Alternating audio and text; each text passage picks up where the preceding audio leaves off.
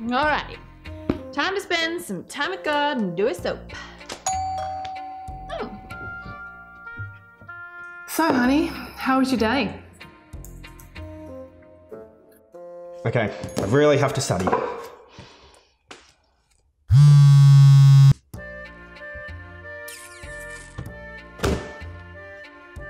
So, on Friday, I'm going on this date with this guy, and you know, he seems pretty decent, but um, he's not a Christian. But at least he's paying me some attention. Like, none of the guys at church do, so. Brad sent me this really funny message. He's a guy I work with. Are you a camera? He says, because every time I look at you, I smile. Isn't that cute? Whoa, they broke up. Oh my gosh. God gave me a vision, and I'm going to do my best to complete it.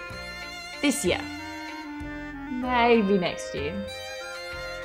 At least before the end of the decade. Brad's so funny.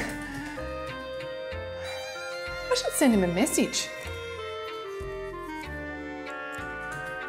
Every day I'm studying.